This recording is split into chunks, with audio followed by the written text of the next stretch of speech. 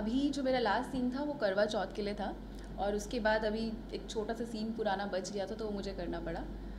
सो so, जहाँ पापू को थोड़ा शक हो जाता है मुझ पर कि कहीं मेरा कोई बॉयफ्रेंड तो नहीं है। तो वही सीन कर रही थी। ऐसा सीन नहीं कर चुकी हूँ पहले। और ये जो कैरेक्टर है रूमी का ये मेरा ड्रीम रोल है मेरे लिए तो। इसलिए जब मुझे ये मिला तो मैं बहुत एक्साइटेड थी और मैं चाहती थी ऐसा रोल करना। तो मैंने बिना कुछ सोचे समझे हाँ बोल दिया। आप लीड रोल है ये? बिल्कुल करना था। मतलब ये तो सोने पे सुहागा वाली बात है। एक तो मेरा फेवरेट रोल ऊपर से लीड ओके जब आपका ड्रीम रोल था तो काफ़ी प्रिपरेशन आपने इसके लिए करा हुआ है मैम हाँ सबसे पहले तो मैंने वेट लूज़ किया।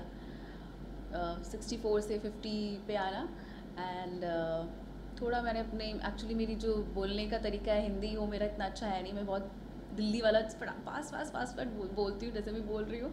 तो उसके लिए मैंने बहुत एक्सरसाइज करी और बहुत सारी प्रैक्टिस की. जैसे इंदौरी बेस्ट सीरियल है तो उसका हाँ। भी लैंग्वेज थोड़ी अलग है उसके लिए भी आपको कुछ अलग से प्रिपरेशन नहीं आ, मेरी इसमें इंदौरी एक्सेंट बिल्कुल भी नहीं है. बट मेरे शो में जो मक्खन का रोल प्ले कर रहे हैं उनकी है और वो बहुत अच्छा कर रहे हैं. तो अभी काफ़ी ट्विस्ट आने वाले हैं मतलब जो देखना है लोग उनके लिए। बिल्कुल। और उसके लिए आपको देखना पड़ेगा। कब से कब तक तेरह नवंबर से रात साढ़े सात बजे सोनी सब पर। Thank you very much